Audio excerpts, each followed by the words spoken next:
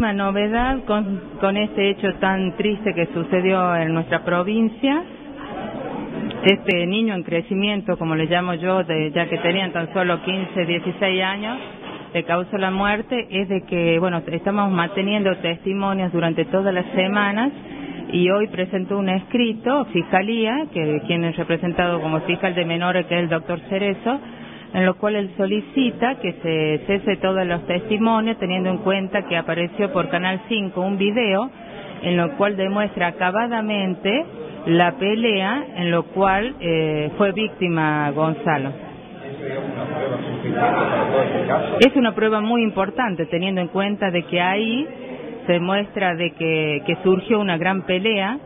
si bien también surge de la misma autopsia que él había recibido un golpe muy importante en su frente y en su nariz, lo cual le ha producido a él una desviación del tabique nasal hacia el lado izquierdo y también un traumatismo muy importante.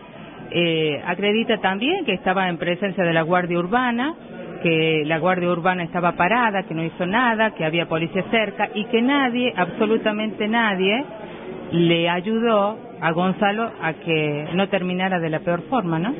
Ahora, ¿esto puede llegar a contradecir con todos los testimonios que se dijeron hasta ahora? ¿Si este video es bastante? Eh, no, no lo he visto el video. El juez ha ordenado en forma inmediata el secuestro del mismo, en lo cual también es muy importante resaltar que realmente la justicia está actuando de una forma muy, muy prolija, acelerada y sobre todo involucrándose mucho para llegar a la verdad real del caso. Eh, con respecto a si se puede determinar con exactitud, no, bueno, como